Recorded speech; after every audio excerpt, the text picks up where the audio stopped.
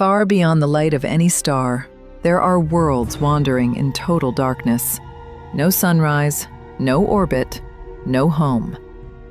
These are rogue planets, planets that drift through the galaxy completely alone. Some were born around stars like ours, until a violent gravitational push flung them out of their systems and into endless night. Others were never part of a solar system at all. They formed like failed stars, collapsing clouds of gas and dust that never ignited, leaving behind a cold, silent world floating through space.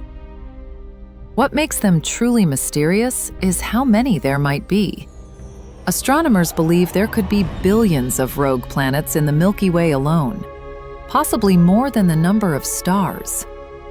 Most are frozen solid, their surfaces colder than anything on Earth. But some may still hold heat deep inside, maybe even oceans buried under layers of ice, hidden from the universe, yet potentially capable of life. We rarely see them they reveal themselves only when their gravity bends the light of distant stars. A tiny ripple in space that tells us a dark world just passed by. Rogue planets remind us that the universe is not empty. It's full of drifting worlds, lost in the dark, carrying secrets we may never reach, and dangers we may never see coming.